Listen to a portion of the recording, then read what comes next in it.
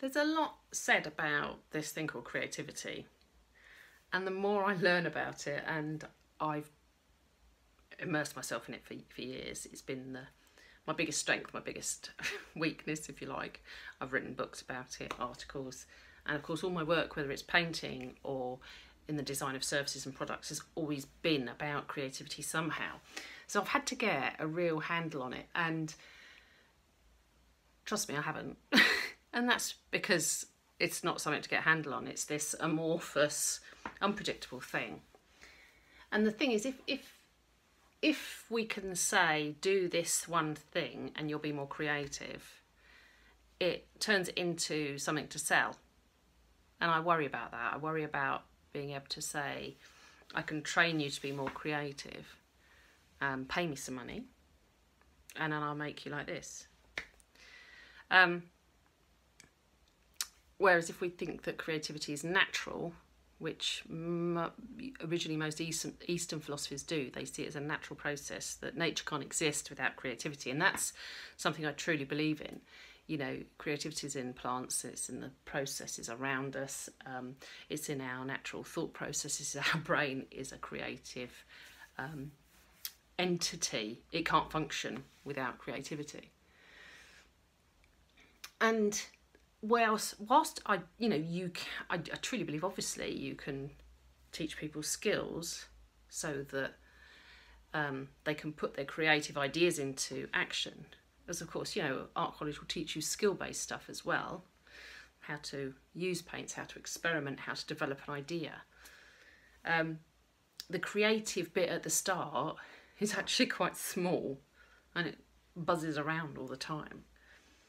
You know, the the paradox of this creative thing is it needs both. It needs this floaty, wandering mind state. That's when most creative ideas hit people.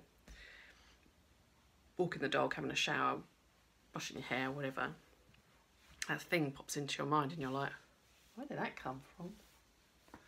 Um, and the word genius itself comes from the word geni or genie, which means locus or uh, loci or spirit of the place so actually a lot of ancient traditions as well see an environment as the um, birthplace of an idea, actually infusing the spirit of an idea into somebody, which I think is a lovely idea. Which is why often in coaching as well, we want to take people to different places so they can experience different thoughts and ideas as they move in the environment. But this this one tiny little idea that buzzes round needs so much more to put it into place, to implement it.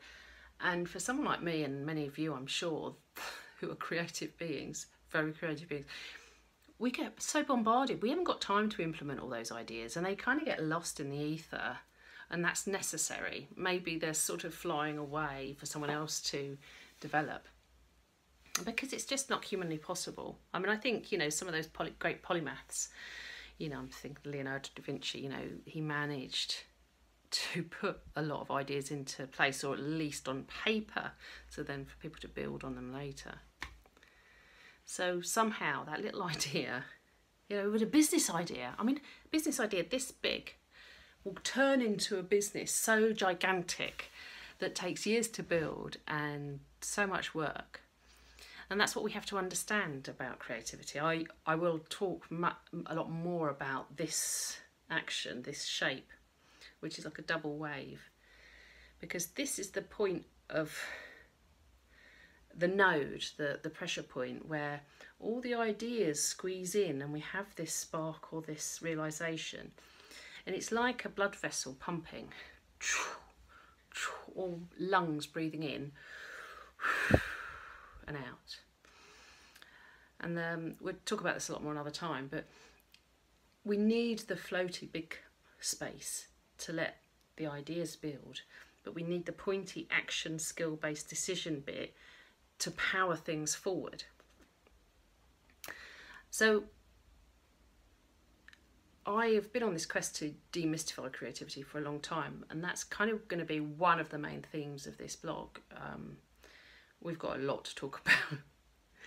The other theme of this blog is going to be human beings as human doings because it's the doing that humans do that is It gives us joy, it gives us meaning and purpose, but it's also causing us a lot of problems as society and uh, as humanity goes on the planet.